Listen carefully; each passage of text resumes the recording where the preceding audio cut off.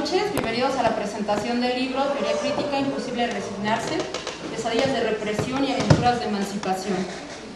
Vamos a este libro, que por cierto, bueno, este libro está ya a la venta, lo pueden conseguir aquí afuera, y pues vamos a empezar con Marco Aurelio, después Lisset, Aureliano y Stefano, ¿no? Entonces, si quieren empezamos. Muchas gracias. Este, sí, este volumen que presentamos esta noche es de, muy reciente aparición, tiene algunas pocas semanas que, salió de la, prensa, todavía huele a tinta fresca. Y eh, los textos son de, procedencia eh, variada, pero no, no demasiado, no tienen tantas, tantos puntos de origen los textos. Son 11 ensayos los que están en esta colección y eh, varios de estos ensayos son las versiones trabajadas para publicación, es decir, corregidas, aumentadas, revisadas y demás, de un simposio parecido al que al que, digamos, promueve la presentación de este libro, que es el Simposio de Teoría Crítica desde las Américas, y en el anterior congreso de la Asociación Mexicana de Filosofía en la ciudad de Morelia, Michoacán, en el año 2014, hubo una mesa similar de título y sin duda similar de contenidos, de donde proceden varios de los textos compilados en esta colección. Los otros, otros de los textos proceden de, un homenaje que se hizo en la Facultad de Filosofía y Letras de la UNAM al filósofo alemán que prácticamente era el último sobreviviente de la Escuela de Frankfurt, el último de los moicanos, podríamos decir, el, profesor Alfred Schmidt, y eh, esos son otros de los textos. Eh, yo voy a comentar brevemente eh, dos de los trabajos aquí contenidos. El primero es un trabajo de, Martin Jay y el otro que quiero comentar pues es mi, propio ensayo. Un poco para que sepan si lo quieren leer o no lo quieren leer. Entonces, el, el artículo de Martin Jay es muy interesante porque ubica el origen de la, escuela de Frankfurt. Y eh, yo había leído hace muchos años el libro este de la imaginación dialéctica, que es la historia de la escuela de Frankfurt, y, recuerdo que era un libro que no me había parecido especialmente bueno, me había parecido medio, medio malito. Y este texto sí me pareció realmente muy bueno, o sea, creo que hay como un, una mejor aproximación como más fina, ¿no? Claro, trata solamente el, origen de la escuela, ¿no? Pero es bastante, bastante revelador. Y por otro lado, eh, el, texto que yo escribí para este volumen, digamos versión preliminar presenté en aquel congreso en Morelia, es una aproximación a la obra del filósofo ecuatoriano Bolívar Echeverría, eh, en donde lo que intento es eh, extraer, digamos, un concepto de cultura política a partir de, su teoría de la cultura. ¿sí? Son pocas las menciones que, hace Echeverría explícitamente, digamos, a una noción de cultura política, pero implícitamente siempre está presente en su teoría de la cultura.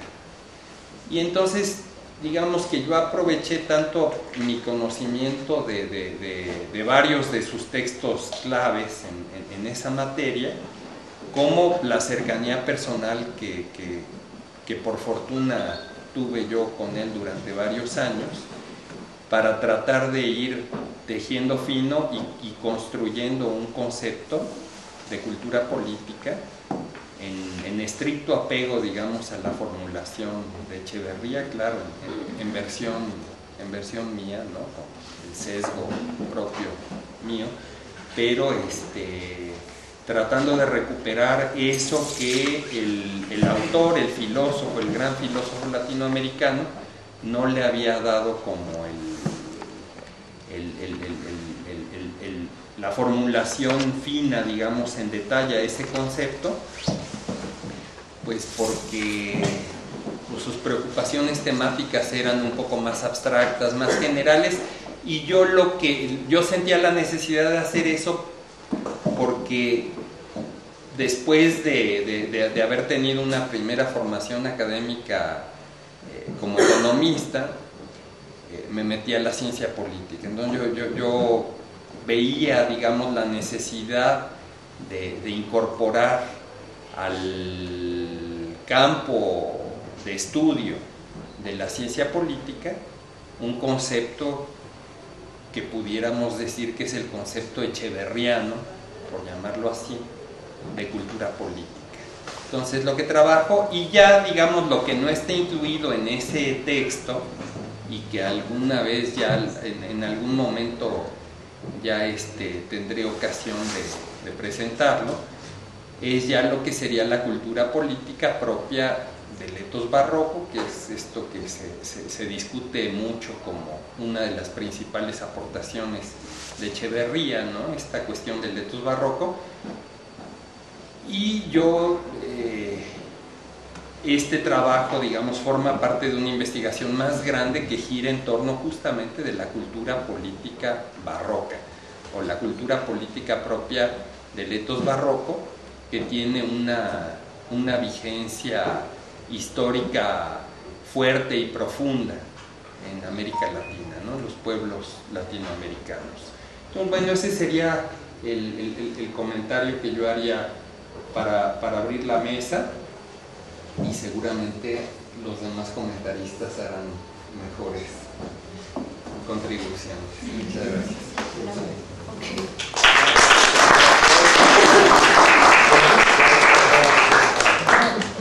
Gracias, Marco. Sí, bueno, pues gracias por estar aquí. Eh, el libro, como decía Marco, tiene al parecer diversos temas alrededor de los cuales gira, pero yo creo que hay tres centrales.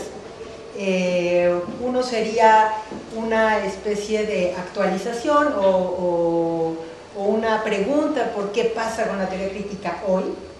De hecho, es el nombre del, texto que incluye aquí Aureliano y que incluiría también, yo creo, el texto de Martin Jay, eh, que aunque se refiere al, surgimiento de la Escuela de Frankfurt, lo hace también desde una posición muy crítica acerca de, los fundamentos, dice él, de la Escuela de, Frankfurt, que parecen no estar ahí o estar sin fundamentos, juega con una con una palabra en inglés que resulta difícil de traducir, que es unravel, y, y con entonces cómo aporta todavía la Escuela de Frankfurt este estar sin fundamento en el sentido en contra de lo ontológico, en contra de algo que existe por esencia, siempre poniendo en vilo, en tela de juicio al propio pensamiento y bueno, muchas cosas que creo que, aportan para la discusión de la teoría crítica hoy,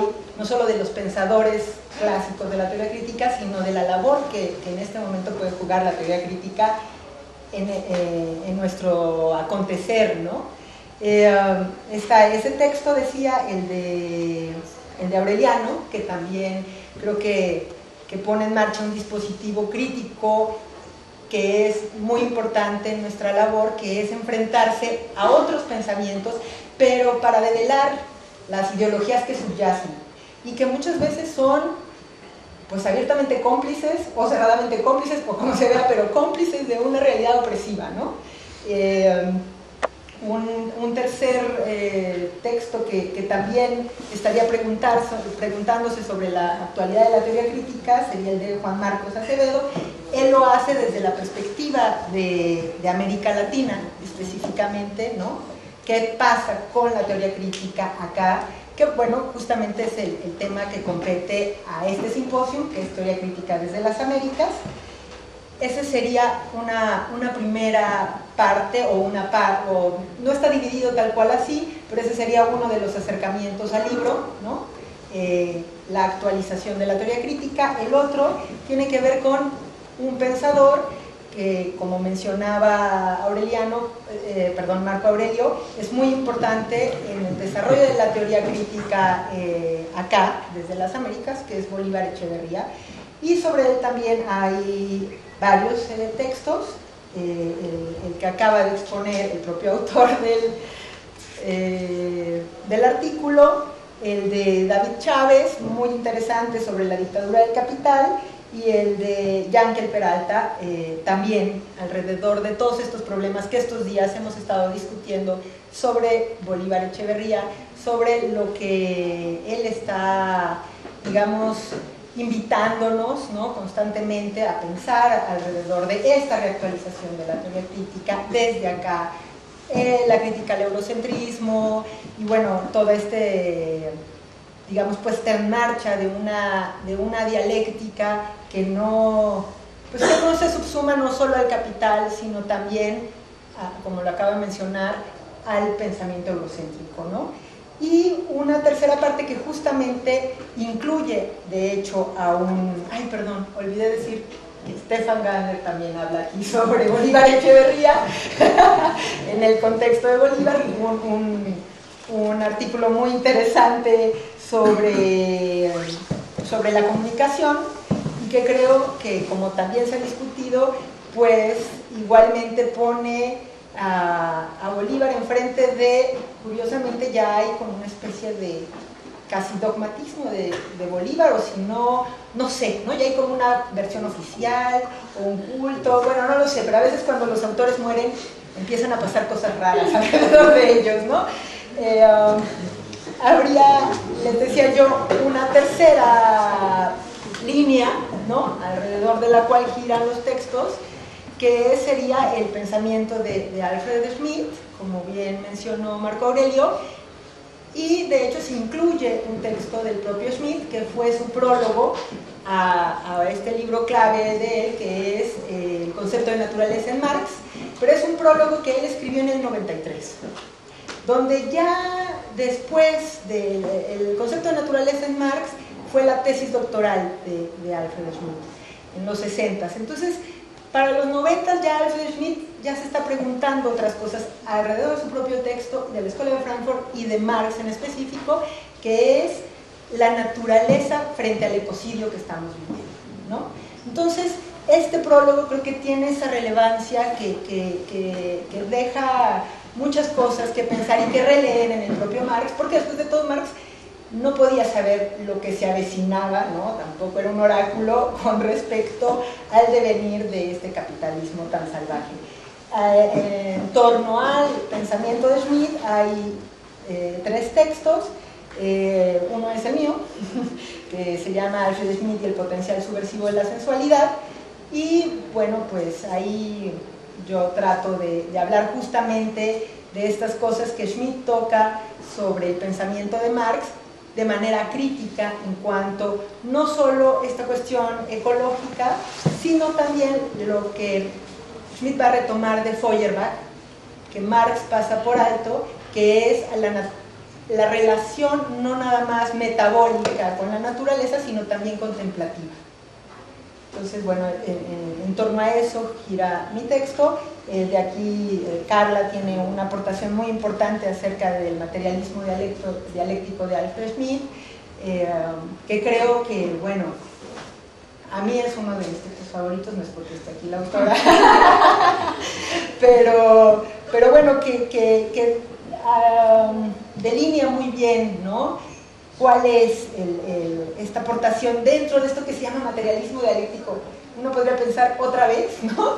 Pero, pero no, no es otra vez, ¿no? Es una vez más y mejor. Y bueno, pues yo también los invito. Y por último, una contribución al, concepto de fetichismo en Alfred Schmidt, valor de uso como forma natural, de David Rusman, que lástima que no esté aquí porque también es un, gran texto que... Eh, hemos estado hablando justamente del valor de uso como forma natural, pero él lo va a ver, a, diferencia de lo que hemos discutido mucho más sobre Bolívar Echeverría, desde el específico, el específico modo de abordar esto por Alfred Schmidt. bueno, eso sería lo que yo podría decir.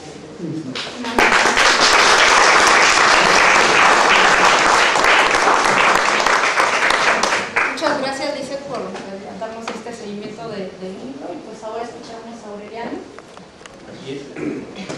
Bien, Lisette ha hecho una glosa, creo que muy completa, del contenido del libro. Eh, a mí me gustaría, eh, sobre todo, destacar el hecho de que es resultado de un trabajo colectivo, discontinuo quizás, episódico quizás, pero de una discusión que lleva ya años entre nosotros y que, insisto, de manera episódica ha ido configurando un grupo. Eh, vamos, quien, quien, quien toca la campana para que acudamos quizás es Estefan eh, en este grupo, pero mi trabajo en particular no se generó el seno de este grupo, sino de otro grupo en el que también participó, que eh, el que toca la campana ya es Eduardo Subirat. Entonces, de hecho, la versión primitiva de mi trabajo apareció, está colgada en una revista virtual que se llama Crisis y Crítica que edita la Universidad del Valle en Colombia. Es la versión, vamos, primitiva, esta versión ya está mucho más trabajada. Pero, pero me gustaría destacar eso y subrayar eso. Eh, hay libros colectivos que se hacen porque hay dinero para hacerlos y a uno lo llaman y Ay, mándame un artículo, ¿para qué? Para completar el número de páginas y publicarlo. He dicho, bueno, debo confesar que lo he hecho, eh, con citas terribles al respecto, prometo no volver a hacerlo, pero, pero este libro no, este libro es resultado de una discusión, insisto, continua, discontinua, que ha puesto sobre la mesa los tópicos que están aquí, en torno a la figura de Echeverría, en torno a la figura de, eh, Alfred Smith, en torno a la propio derrotero y condición actual de la teoría crítica o de las posibilidades de hacer teoría crítica desde América Latina. Y a mí esto me parece muy importante porque tiene sus renuevos de vez en cuando, como ha sucedido en Querétaro hace relativamente poco, en donde me parece una especie de modelo para la discusión que tendríamos que hacer cuando nos encontremos. Es decir, el resto del tiempo estamos dispersos por ahí. Pero yo creo que es muy importante fomentar y tratar de conservar esta idea de encuentros eh, en torno a nuestros quehaceres habituales, porque es ahí donde nuestras ideas se ponen en juego, donde realmente se arriesga la la postura que uno ha tomado con respecto a ciertas cosas, se expone a la crítica y, bueno, le permite a uno criticar a los demás y se va conformando, insisto, un, telón de ideas que no se queda estático y sobre todo que no se enamora de sí mismo. ¿Por qué? Porque las circunstancias van cambiando, los problemas van cambiando y, y nosotros mismos vamos cambiando, como parece ser evidente. Eh, entonces, yo quisiera destacar eso, el libro es resultado de este tipo de trabajo y me gustaría y sería de alguna manera, de alguna manera el, mensaje que querría yo dar, que sigamos haciéndolo. Es decir, eh, se ha hecho antes, se hizo en Querétaro, se está haciendo ahora, a pesar de las adversidades y de los rotundos sabotajes que hemos sido objeto, este, se sigue haciendo y yo creo que se, que se debe seguir haciendo y que esto dará cada vez frutos más maduros, más incluyentes también con respecto a una discusión que debe ser diversa y que debe convocar distintas posiciones, pero que tiene, a final de cuentas, como objetivo claro el transformar este mundo que cada vez es más horrible y que creo que con el concurso de nuestras ideas podría por lo menos desde el punto modesto y quizás marginal que ocupamos en este universo, ser distinto. Y por eso yo apostaría. Eh, bueno, enhorabuena por la aparición del libro y extendería una casi invitación a los que estamos aquí para que sigamos en esta relación continua y discontinua, pero sobre todo poniendo en el centro de nuestra atención la transformación de las cosas. Gracias.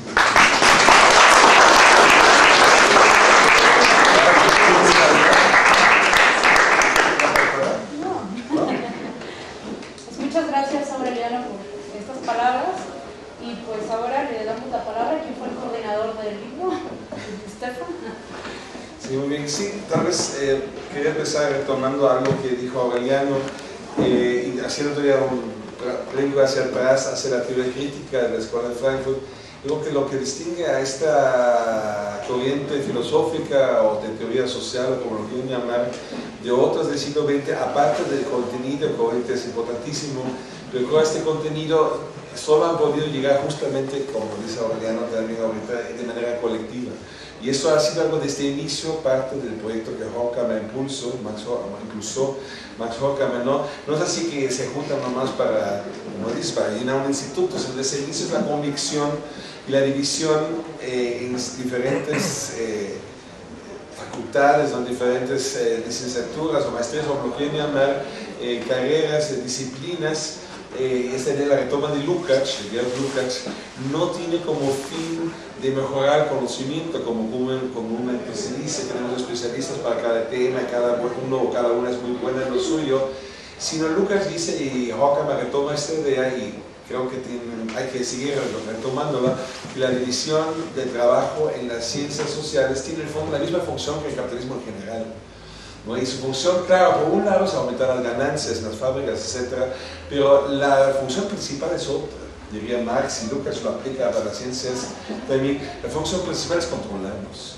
¿no? Eh, justamente tenemos cada uno en el cajoncito donde está encerrado, y, ¿no? en su conocimiento, el lenguaje limitado y sin muchas conexiones con los otros, nos tienen tan aislados y tan, digamos, estúpidos. En el fondo, alemán tiene una palabra muy bonita que es Fachidiot, ¿no?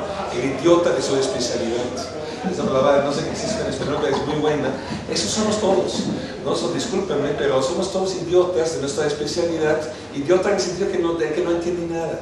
A lo mejor sí sabemos muy bien, sabemos muy bien de dos, tres cosas y podemos dar conferencias maravillosas, pero para realmente entender la sociedad aporta eso. Lucas no solamente que no aporta nada, sino peor todavía, ¿no? Él y este retoma también Benjamin, eh, ellos dirían incluso que la ciencia como hoy en día funciona, lo que aporta es la destrucción de la verdad. No, solamente estamos en cero, ojalá que fuéramos en cero, ¿no? Como unos buenos que, que, se aborrachan no hacen nada, y somos peores, ¿no? Ellos dirían lo que la función de la ciencia hoy en día es hacer aún más difícil entender la realidad social entonces, y en eso estamos. ¿no? Entonces, el intento sería voltear la tortilla, digamos, y hacer lo contrario. Y el paso decisivo, bueno, no sé si, pero uno de los pasos decisivos es justo esto, salir de estos cajoncitos en los cuales todos nos metieron y de alguna manera nos dejamos meter y participamos, cada por las becas, etc., ni modo, participar los títulos, todo eso que de alguna manera todos, me imagino que estamos aquí, la mayoría hemos hecho, eh, no para más bien sobrevivir en este mundo académico, pero al mismo tiempo es falso. Digamos, lo hacemos porque a lo mejor no encontramos otra salida, no, yo también lo hago, pero es profundamente falso hacerlo. Y un poco así, retomando lo que dijiste Aureliano, el intento sería como, aunque sea limitado, aunque sea a lo mejor algo relativamente pequeño en comparación con otras fuerzas, fuerzas existentes, tratar de salir de esa lógica. ¿No? Insisto, no solamente otro contenido, que por supuesto es importantísimo, pero la idea sería que este otro contenido de manera aislada es imposible lograr.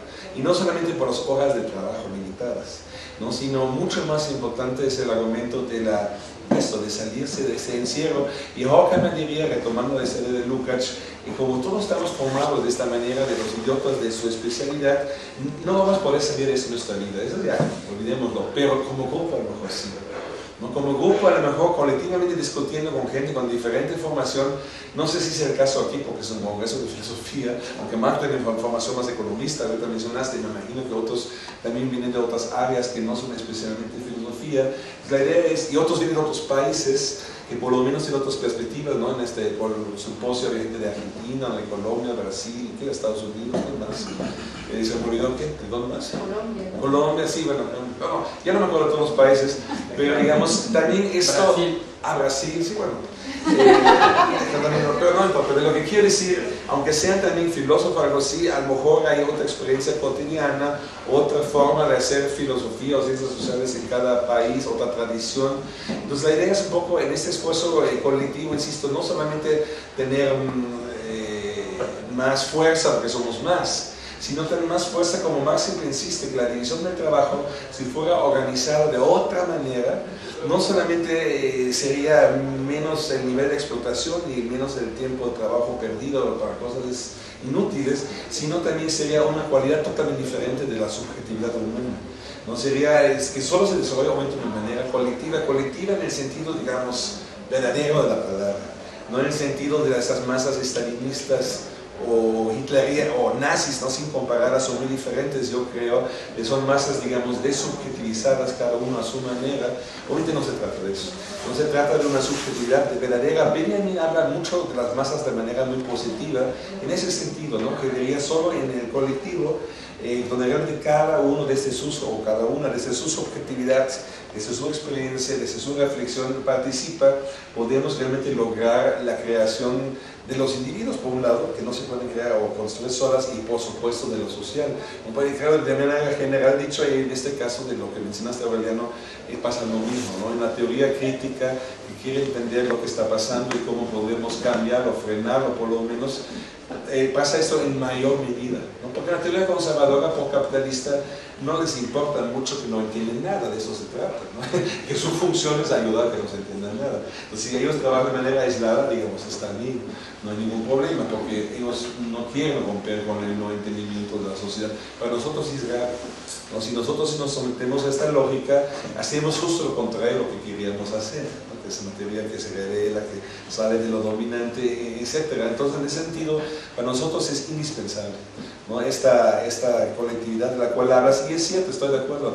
Yo creo que de alguna manera no, no, no quiero compararnos con los de Frankfurt y después exiliaron, digo que sería como muy exagerado, pero como el intento aunque no hemos logrado todavía así la gran cosa, pero sí hacer unos pasos que tampoco han sido tan irrelevantes, creo, no en esa dirección, ¿no? de crear un grupo cada vez más incluyente, ¿no? Eh, con más disciplinas también, eh, más perspectivas, etcétera, cuyo fin principal sería entender qué está pasando. En el caso de la teoría crítica de la Escuela de Frankfurt, su pregunta central, pienso yo, era por qué el capitalismo sigue existiendo a pesar que es obvio que no funciona. La Primera Guerra Mundial, en Europa quedó totalmente claro que esto no funciona. Solo lleva la guerra, había muchos intentos de superarlo, luego había la caída del fascismo, ¿no? y la pregunta es por qué. ¿Por qué la gente apuesta otra vez el modelo fascista, incluso en su peor versión hasta hoy conocida, que es la nacionalsocialista y la fascista? Entonces, ¿por qué no? ¿Por qué pasa eso? Si ya entendimos que eso no funciona, ¿por qué otra vez retomamos el proyecto? No solamente que no nos resistimos, incluso participamos activamente. Entonces, yo creo que eso fue su pregunta de ellos. No sé si hoy día sería exactamente la misma manera de formular la pregunta que nos une, pero todo sí es parecida, ¿no? ¿Por qué no logramos para eso? Porque no es posible, a pesar de estar obvio que más y más desastres hay, porque no somos capaces de pagarlo, porque decir que solo por la represión y porque los capitalistas tienen muchos recursos, digo que es una simplificación terrible. ¿No? Se ve en las elecciones, se ve en, el apoyo de las masas que a veces tienen ciertos gobiernos. Trump, ¿no? en Estados Unidos es un buen ejemplo, ¿no? que muchísima gente está en favor de él. La pregunta es ¿por qué? ¿No? ¿Por qué pasa eso? ¿no? ¿Por qué no hay ni siquiera en la cabeza y mucho menos los actos una ruptura con lo existente que tanto nos destruye? Pues yo creo que sería de alguna manera, a lo mejor hay que formularlo más precisamente la pregunta que de alguna manera nos une. Cada uno con su perspectiva, con su método, con su herencia teórica, su, formación, etc. Yo creo que de esto se trataría y, y, sí, yo creo que sí, un poco también lo hemos logrado hasta ahorita, falta un día, ¿no? en el simposio, como hoy la discusión es central. Y no en el sentido que Hegel tanto criticaba de opinar, ¿no? no se una discusión de verdad, ¿no? que realmente eh, o sea, entonces un argumento y trato de aportar algo a lo mejor de manera destructiva, incluso si me parece equivoco lo que dijo la otra persona, o de otra manera, pero de realmente tomarse en serio mutuamente, también en serio los que ya murieron, ¿no? no como dijiste, no, eh, ¿cómo es la palabra? No eh, lo que me dijiste hace rato, no eh, canonizarlos, como pasa por ejemplo a Bolívar Echeverría y a otros, no, sino tomarlos en serio, aunque ya no nos hablen a viva voz porque ya no pueden, pero de alguna manera sí discutir con ellos, ¿no? aunque ya no estén ahí físicamente presentes, están presentes sus textos, sus recuerdos, a veces grabaciones, etc. Entonces entrar en debate entre nosotros y también con ellos, con Marx mismo, con toda esa tradición crítica que hay, que es amplia yo creo que simplemente discutir con ellos y detectar también los errores. Los errores ¿no? Como Aureliano dijo, por un lado son errores que desde antes se, hicieron y por otro lado son cambios de la realidad que hacen que una teoría que a lo mejor hace 20 años era bastante interesante se vuelve aburrida o hasta falsa en algunos aspectos. ¿No? Entonces, yo, por ejemplo, la, la de surge en el momento, eh, esto discute muy poco, pero da un solo ejemplo, como la teoría cambia con el tiempo. Su teoría de los entes surge cuando Salinas dice México va a entrar a la modernidad. Eso va a ser por fin un país moderno, como ven. ¿no? Y mucha gente de la izquierda mexicana, claro, no son salinistas, en el fondo sí lo son, en el sentido que se creen este cuento y quieren modernizar México. Y modernizar quiere decir para mucha gente, así hace como los europeos o los estadounidenses, y el segundo paso eh, hacerse comunistas, socialistas, si somos de izquierda radical, los bolívares dirían, espérense, no, no es así, podemos dar tomar otro camino, no tenemos que copiar lo que sean otros países puesto a introducirlo del Barroco, vamos a dar un ejemplo, y creo que ya en un contexto de un debate diferente, ya no, Salinas está ahí, pero ya no tiene este poder, digamos, ideológico, ese discurso de la modernización, creo que hay un cambio ahí, ¿no? con el PAN, etcétera, hay como una derecha más abierta, que ya de plano habla de tradiciones muy nefastas, etc. Yo creo que hay que de alguna manera ajustar nuestra respuesta a eso. No todavía un poco lo que discutimos en la mañana, ¿no? que de plano Aureliano dijo, y hasta di la razón, de alguna manera Peña Nieto es el verdadero heredero ¿no? de la Revolución Mexicana, no una información rarísima, yo de primera vista, pero estoy de acuerdo con ella, que solo tiene sentido en el debate actual, de la derecha con su discurso nefasto de la familia, para la supuesta familia, de supuesta armonía, etcétera, donde olvida por completo todo lo que significa familia hoy en día en México, en otros países. Entonces yo creo que en ese sentido el discurso de la modernización tipo Salinas ya perdió pues. Ahí tenemos otro debate, y donde por ejemplo de Letos Pagato, pero no estuvo mal este y me decía los barrocos, ¿no? Porque sí se cometió a veces un etos barato, en ese, no iba a decir eso, en el sentido que se dice demasiado fácilmente, ah, esqueletos barrocos, ¿no? Entonces, pero Bolívar, insisto, discute con no tanto con Salinas, pero con este ambiente que en la misma izquierda existe, tenemos que ser modernos como aquellos que sí son modernos en Europa, etc. Entonces Bolívar dice, no, eso no me interesa. Aquí somos modernos hace muchísimo tiempo, ¿no? y eso nos caracteriza muchísimo tiempo y tenemos una moneda muy específica que tiene su propio fracaso, que es diferente al fracaso europeo. Entonces el fracaso necesita otra respuesta, ¿no? tenemos como nuestro propio. Creo que el reto es barroco hay que verlo más como una alternativa, como un fracaso propio. ¿no? Cada uno tenemos nuestro fracaso. El fracaso mexicano no es el mismo que el alemán. Entonces la respuesta a este fracaso capitalista en cada región diferente a mí es diferente. Pero existe este debate perdió un poco de fuerza hablando ahorita de los que están en poder, está sustituido por un debate abiertamente de derecha, muy diferente al del salinismo. Entonces, eh, la respuesta debe ser diferente. El mismo etos barroco sí se puede convertir, aunque un error, lapsus freudiano, un etos barroco, en el sentido que, se puede prestar una interpretación conservadora. Y esto no se ha discutido, pero lo voy a decir rápido. Bolívar siempre dice el barroco es rebelde y al mismo tiempo conservador. Sí lo ve lo cita una y todos lo dice, en su vulgarización esto casi no se menciona. Bolívar, aunque de alguna manera defiende el barroco a sus críticos, contra sus críticos simplones, al mismo tiempo sabe que esta cosa nefasta. Y los barrocos nefastos, de alguna manera, lo que vemos ahorita, la familia, las machos, etc., esto también es etos barroco. Entonces, eh, lo que quiero decir, entonces deberíamos retomar el debate, ¿no? y cada, como dice Abel en cada momento actualizarlo, pues y eso me habla la revisión al libro, me ha mucho odio, pero digamos, como el libro trata de aportar, obviamente, en este debate, y tal vez unas palabras para antes de sobre Alfred Schmidt. Eh, me gusta mucho que este libro, como de alguna manera se encuentran Alfred Schmidt y Bolívar Echeverría, son dos partes. La primera parte es sobre todo discusión con Bolívar, la segunda sobre todo discusión con Schmidt. Y claro, la primera parte también Martin Jay, que hizo este libro muy famoso, eh, Imaginación Dialéctica, que fue el primer libro general sobre teoría crítica, hace muchos años ya lo escribió, y él estaba en Moguel en el Congreso y nos ofreció participar del libro. Entonces, eh, me gusta mucho que están los dos juntos porque bueno, por una cosa, no sé, la quiero mencionar porque es biográfica, pero es más que eso. La única vez que Bolívar lo en Frankfurt era porque lo invitó Alfred Schmidt. No, habamos obviamente nunca a Bolívar Echeverría, no, nadie de los francotianos de hoy, dicen que es la segunda generación, pero bueno, ese es otro tema. Entonces Schmidt sí, claro, en parte, digamos, negocié un poco con él, pero digamos, Schmidt entendió, entendió la importancia del pensamiento de Bolívar Echeverría. Yo creo que en muchos puntos no estaría de acuerdo pero entendió que es importante discutir con él y fuimos también un día juntos los tres cenar, etc. Y fue bastante interesante el debate. Entonces lo que quiero decir, de alguna manera creo que lo que pasa en este libro debería haber pasado más en la realidad. Solo había un solo encuentro de dos, tres, cuatro horas, más muy limitado, pero creo que fue un, como un inicio ¿no? de abrir el debate de la teoría crítica, aunque en este momento el encuentro fue en Frankfurt, pero abrir un debate más internacional. De esto estoy convencido, si nos seguimos encerrados, no salen los cajoncitos de de carreras, etcétera, como dije al inicio, también en las nacionales ¿no? o regionales América Latina, aunque me parece importantísimo eh, la realidad latinoamericana, creo que tampoco hay que encerrarse en eso. Entonces, como tampoco hay que encerrarse en europeo o norteamericano, entonces eso sería otro intento, ¿no? Por eso me gusta que hay cierta participación internacional aquí.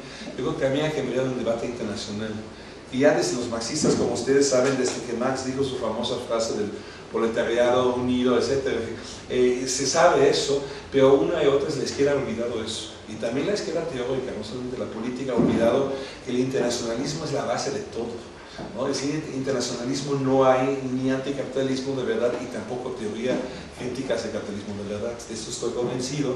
Y ese es el sentido, el libro mismo a lo mejor no es tan internacional, pero es como parte de este intento, ¿no? y puesto me refería a este otro encuentro entre Alfred Schmidt y Bolívar Echeverría, de, ¿no? de, de, de, empezar un debate que no solamente que no sea egocéntrico, sino que realmente sea internacional, donde realmente hay una discusión eh, verdadera sin subordinación, sin festejos falsos, pero tampoco sin una glorificación de lo propio, ¿no? algo que en parte se ha discutido en este congreso que me parece sumamente falso. ¿no? la respuesta del egocentrismo no puede ser latinocentrismo algo así, no, estoy seguro que es también profundamente falso. Entonces, eh, a menos que seamos peronistas, algo así, pero si somos de izquierda de verdad, eh, no, podemos hacer eso. Sí tenemos que tomar en serio que lo que dice Marx, ¿no? la invención de las naciones es 100% eh, capitalista y burgués, 100%. No hay ni un por ciento de aportación izquierdista en el concepto de nación, no lo hay aunque a veces se piensa otra cosa. El PRI, claro, habla de cómo lo llaman, eh, ¿cómo es? Eh, nacionalismo revolucionario, algo así. Pero el PRI obviamente no es un partido de izquierda, estamos de acuerdo, no es un partido que defiende los intereses capitalistas, que tiene cierto gasto de burgueses. Para ellos está bien que hagan eso, o lo que decían, que lo hicieron, pero para nosotros no. Nosotros, si somos de izquierda, ahorita tenemos un proyecto necesariamente internacionalista. Entonces, también en ese sentido, digo, me gusta que tratamos de abrir como un debate, aunque sea en papel, no entre Desde América Latina y Alfred Schmidt desde Europa. Bueno, gracias.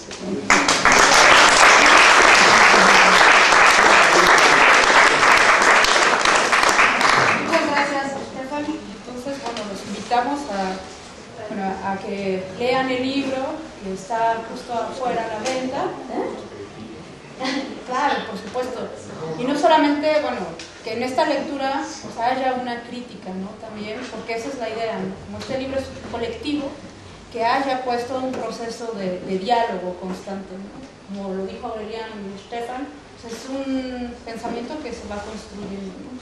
Pues muchas gracias.